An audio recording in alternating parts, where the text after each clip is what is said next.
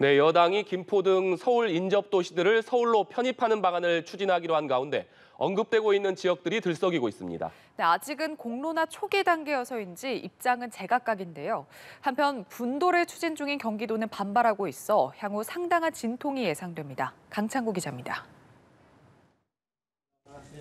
국민의힘이 김포동 서울과 붙어 있는 경기도의 여타 도시들을 서울로 편입해 메가시티 서울을 만드는 방안에 대해 연일 군불을 때고 있습니다. 김기현 대표가 김포시 서울 편입 추진 의사를 공식 밝힌 데 이어 경기도 행정 일부지사를 역임한 박수영 의원도 메가시티는 시대의 트렌드라며 힘을 보탰습니다.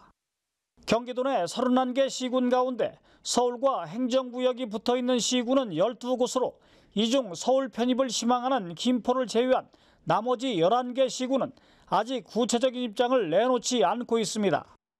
일부 지역에선 서울 외곽이란 이유로 혐오 시설이 들어서지는 않을까 벌써부터 회의론이 나옵니다. 지역 전화번호가 서울과 동일한 광명시와 과천시는 시민 의견을 최우선으로 고려하겠다는 원론적인 입장을 내놨습니다. 고양시는 현재까지 정리된 입장이 없다고 밝혔고 성남시는 정치권에서 가이드라인을 만들어 제시하면 논의할 수 있다는 입장입니다.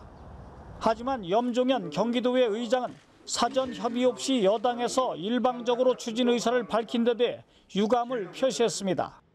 도의회 민주당도 총선에서 표를 구걸하기 위한 무책임한 언동이라고 비판했습니다. 김동연 지사가 중국 출장 중인 가운데 염태영 경제부지사는 반대 입장을 분명히 했습니다. 너무 뜬금없는 얘기입니다. 총선을 앞두고는 있다고 해도 이렇게 혹세무민식으로 던지는 정책은 정말 어, 정치를 더욱 불신시킬 뿐입니다.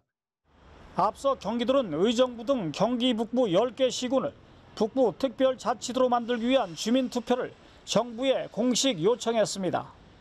연합뉴스TV 강창구입니다.